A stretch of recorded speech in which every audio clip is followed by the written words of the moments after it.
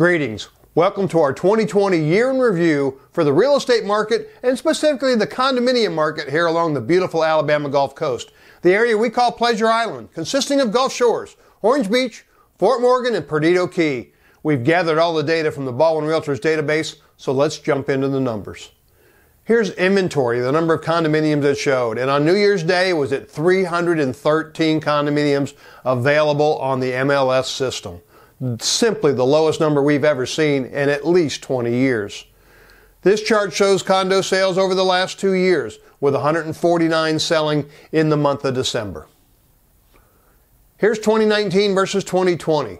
Units sold up slightly to 1664. The average sales price right around the same at 415.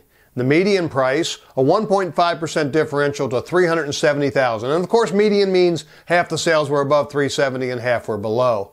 The average dollars per square foot rose about 2% to $317 per square foot. Contingent and sale on pending, those are units we look at to see what we can expect to close in the next 30 to 60 days. And it was up a whopping 64% over the same time last year to 207 units. If you're thinking about buying or selling here along the beautiful Alabama Gulf Coast, contact your local market experts, John and Susan Andrews with the A Team, so they can help you with that important decision.